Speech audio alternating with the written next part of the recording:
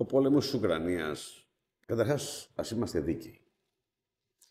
Εάν και εγώ προέρχομαι από ένα μεγάλο κομμάτι της Αμερικής, δεν έχει να κάνει με την Αμερική, εγώ μιλάω για έναν πλανήτη. Δεν μπορώ να πω ότι αυτή είναι η Αμερική, αυτή είναι η Ρωσία. Αν με ρωτήσετε σε, μια άλλο, σε ένα άλλο επίπεδο συζήτησης, δεν υπάρχει ούτε Αμερική ούτε Ρωσία. Ο πλανήτης είναι μόνος του. Ακόμα και στρατηγική, άμα το θέλετε, το πώς κινείται στον πλανήτη. Όμως είναι πιο περίπλοκα, πιο περίπλοκα τα πράγματα και επίπεδα. Με αποτέλεσμα, ναι, αυτή τη στιγμή η Αμερική έχει σφίσει, έχει ένα μικρό φωτάκι κάπου, ίσα που φαίνεται.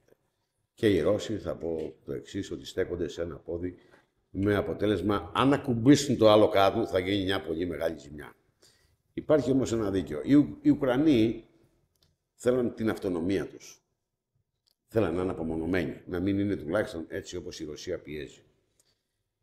Μια άλλη αλήθεια όμως είναι ότι η Ουκρανία, ιδιαίτερα το Κίεβο, πώς λέμε εδώ το κράτος των Αθηνών εδώ, κάτι τέτοιο συμβαίνει, άρα το κράτος του Κιέβου από την οικογένεια Ρος, Εξού και το όνομα της Ρωσίας. Παλιά δεν υπήρχε Ρωσία, ήταν η Σοσιαλιστική Σοβιετική Ένωση.